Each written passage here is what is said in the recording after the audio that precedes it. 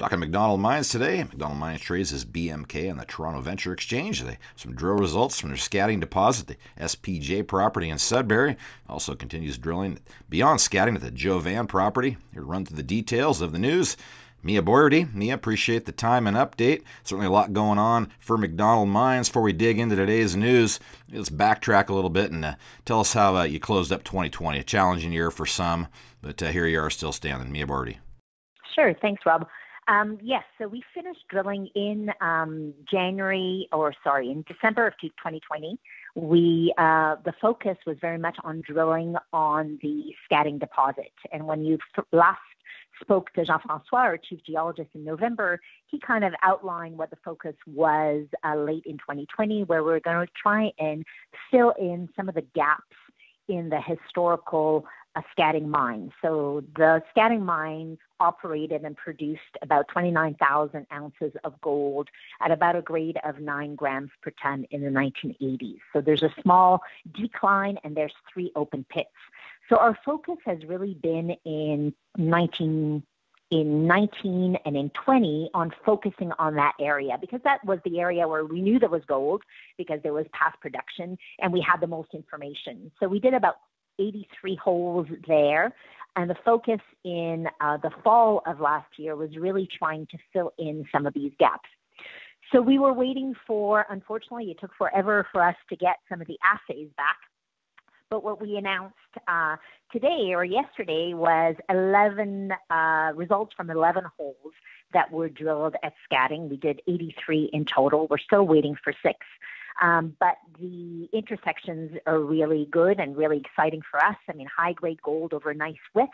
And what we're doing is filling in those gaps. So, filling in the gaps between the underground decline, the legacy underground mine, and the north pit and the south pit. So we're showing that there's continuity there in terms of the mineralization. And right now we've traced it about 450 meters um, east-west and north-south. So much bigger than what the initial footprint of the Scadding mine is, uh, which is great for us. So we're going to continue on delineating uh, what ha- is happening at the Scadding mine because we think that you know there's huge potential there. And one thing to remember as well is that all of our drill holes so far has been have been really shallow.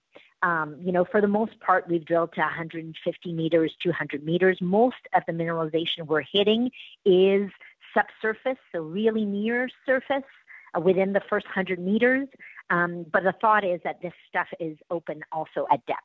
So, you know, later on, I think as we continue on developing what we have at Scadding, we might go a little bit deeper and see how these things kind of hold together.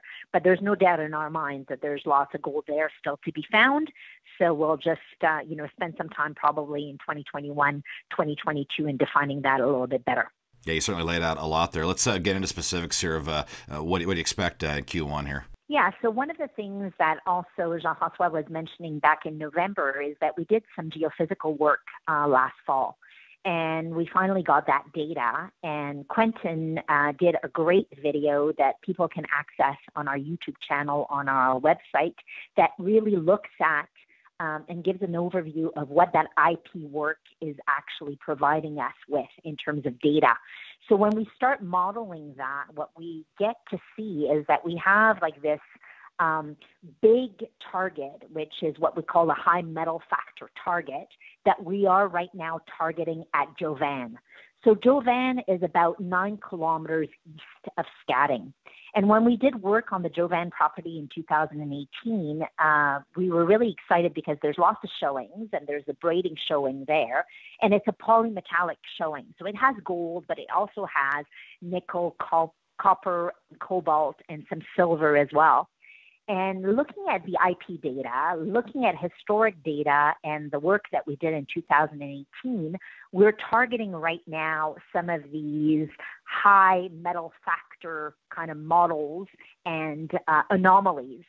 And we've completed about three holes in that area. We started drilling in January, on January 11th. We completed three holes of a planned eight uh, program. And what we're seeing right now is really exciting because we are hitting mineralization that's very akin to what we see at Scadding. And we always thought that there was a relationship between Jovan and Scadding. Um, so we're finding this chlorite alteration, which seems to, to carry sulfides. And these sulfides are massive or semi-massive.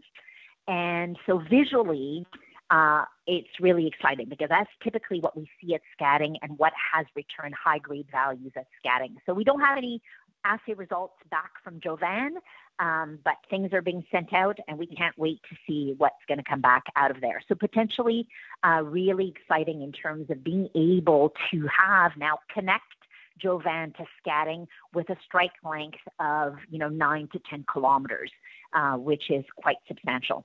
Well, certainly excited, and I certainly laid out a reason to pay attention to BMK here. Uh, what'll be up next here for the company, Mia? So we're um, we still have six holes that are due from the drilling that we did this fall at Scadding. So as soon as those come in, we're going to be releasing them, and of course the holes at Jovan. So as I mentioned, we finished three. Um, those are out of the lab we just don't know. We're hoping that we're going to get results a little bit quicker that we've had in the past. Unfortunately, you know, the labs have to deal with COVID as well and different COVID protocols, and, and they're just not churning out results as quickly as we'd like them to. But, you know, we should have some pretty consistent uh, results coming in, and we're going to keep on drilling. So we're not waiting. Uh, for things to come back. As I said, you know, visually we do what we call quick logging. So we look at our core, uh, we do some measurements, we look at structures, and then we send them out for assaying. So based on that preliminary kind of, of analysis, uh, we're trying to figure out exactly where we're going next, and that is being guided by, as I mentioned before, our geophysics. Okay, well, certainly appreciate that uh, update there. Anything else you want to impart to investors before I let you go here, Mia? More to come. Exciting times to come as we develop more of this. Maybe one thing to mention also is um, reiterating the fact that we have a huge property. We have 18,000 hectares, lots of polymetallic showings for us to uh, test. Um, so we're going to keep on being busy and we're going to keep on expanding what it is that we've already defined. Okay, well, appreciate that update. That's Mia Boiridy, MacDonald Mines, BMK on the Toronto Venture Exchange. Mia, appreciate the update, and we'll certainly keep our eye on the wire and look forward to checking back in when you have some more news to report. Absolutely. Thank you so much, Rob.